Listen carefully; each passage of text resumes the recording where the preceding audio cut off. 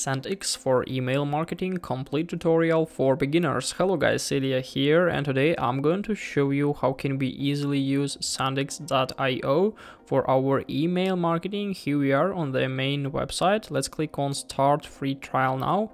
If you are new to this service, you have to create an account and answer for some of the questions. Basically, I'm on my dashboard already because I have an account.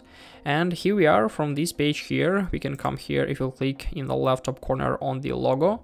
We can find some tips and also we can find all the information, all the stats about new contacts added, email sent, email and email links clicked. So it will be displayed right up here. We can change the time we are going to watch our stats for and basically that's it.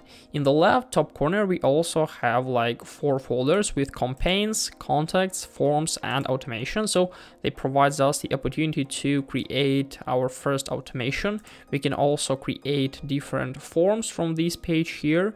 And if we are going to deal with our contacts, we can easily create different groups to divide our subscribers into different like groups we are going to send emails for. Sometimes it could be really really cool. And also we can interact with all the contacts here. As you can see we have for option we can add a new content. We can export our contacts if we want to uh, change the platform we are going to use. Also we can easily add a new custom field for the contact and also we can uh, find all the custom fields I will click on plus new contact. We have to fill some information like first name, last name, email, company, birthday, and some additional fields we need to fill to add the contacts. And basically we can interact with every single contact here. As you can see, I have this one. If we click on more, we can find the information, we can edit, or we can easily delete this contact. So that's all. These steps are quite simple. Let's try to create our new campaign in the left top corner. Let's go to campaign folder. And as you can see, I have like two campaigns here, but in this case, we're going to, e to create a new newsletter. Let's click on plus. We need to select the name. Let it be like campaign tree. And also the from name, let it be like a helper man. And the from email, let it be my email right up here.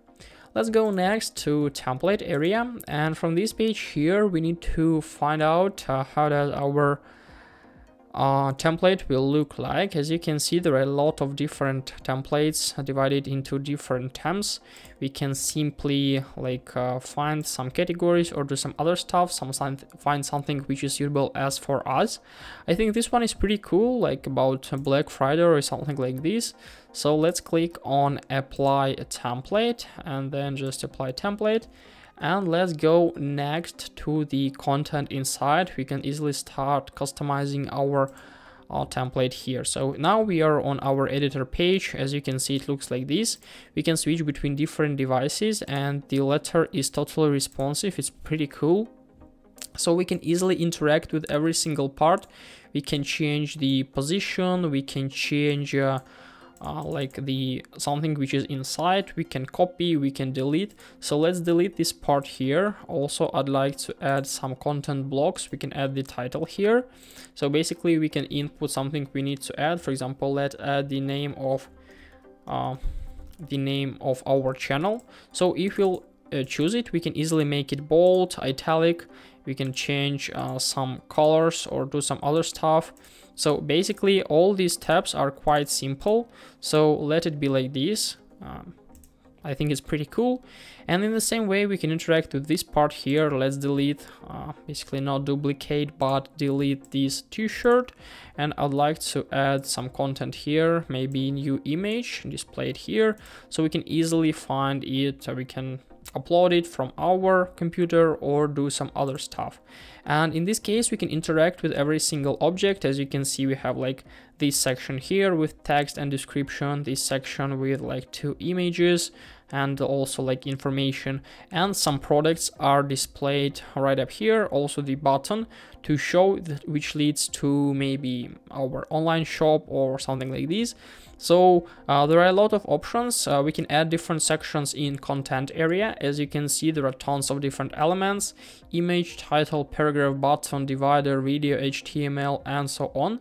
Also, we can manage like rows and we can find the settings of like general options.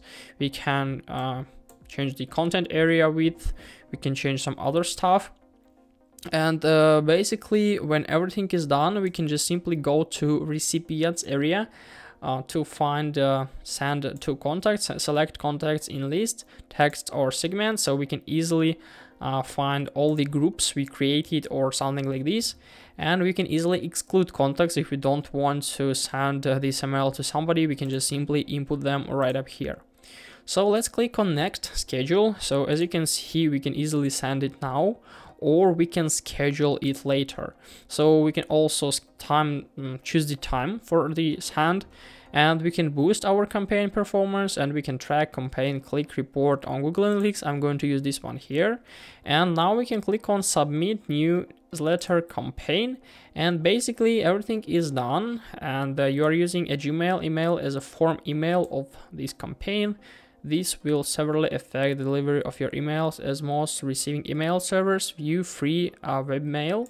So let's click on continue anyway, it doesn't matter, it's just an example.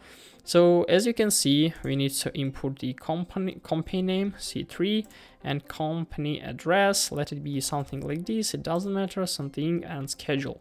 So yeah, now, everything, now our campaign was successfully created. We can just simply uh, click on edit and now we can find it somewhere here and our campaign is right up here so basically this is the easiest way of how can we add for example a newsletter if you want to create drips a-B split test or auto trigger, we can easily switch between these categories. And after that just create it right up here. And if we're going to discover the paid plans, we can see that we have like monthly and annual payments. And the uh, plan is is like it depends on our subscribers count. So if you have like 1000 subscribers it's only 9.99 per month. 10,000 is like $59 like and 100,000 is like $400 per month which is insane. So as you can see we can find all the information here we can find all the advantages and as for me it's a huge opportunity where we can easily try it for free with 14 day trial. So I suggest you to try this service it's definitely worth it. So guys uh, if you have any questions about this about SendX, you can easily write them in the comments below. I'll try to answer for all of them. Maybe you have question about like campaigns or contacts, import or export or some other stuff. You can easily write and I'll try to answer. So that's all for this video. I hope guys you're doing great and it made your life a little bit easier. I wish you a very good day. Goodbye.